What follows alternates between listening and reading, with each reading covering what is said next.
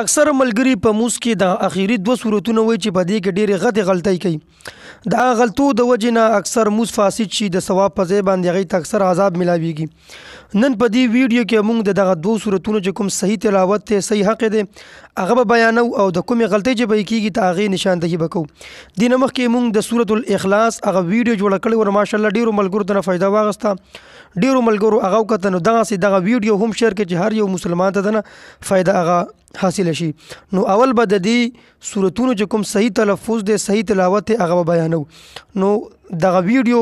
تر اخره پورې ګوره چې په دغه صورتونو باندې تاسو پوه شئ او چې کومې غلطۍ به کې بیا تاسو دي نو هغه غلطۍ ته خپل ځان توبه سي نو اول دغه دوه صورتونه د دې تلاوت کو هغه نه پس چې کومې غلطۍ به کې تاسو وي نو هغه غلطۍ ته بیا هغه وباسي بسم الله الرحمن الرحيم